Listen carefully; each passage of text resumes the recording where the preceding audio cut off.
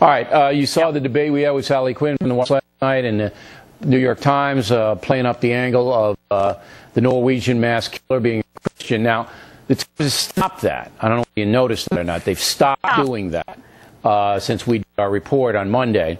Um, but what say you? I, I mean, I think it was pretty, uh, pretty obvious the liberal media was playing up the Christian angle. Look, you know, Bill, you and I can go along, go around, and know, we can butt heads on a lot of issues. But I'm watching your talking points memo last night.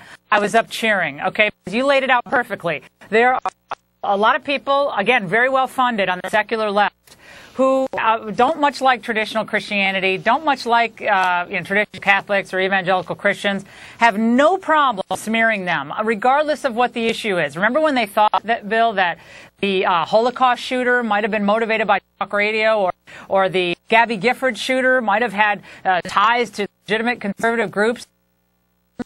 Early on in the reporting, and of course it turned out none of that was true. I think a lot of these people have waited for an event like this pounce on and say, aha, there's moral equivalence between uh, Islamic jihadists worldwide and this, uh, these fringe Christian groups. And it's nothing to it. I mean, if you really think that Christian conservatives in the United States and elsewhere are a bigger threat to your freedoms and your security than jihadists, then I guess you just lived on a different planet. And but I think that's where Sally Quinn's coming from. Well, no, I mean, I don't know about that. I don't think Sally Quinn is in the same category as the New York Times. I think that Sally Quinn basically well, if the guy calls himself a Christian, you know, then he's a Christian.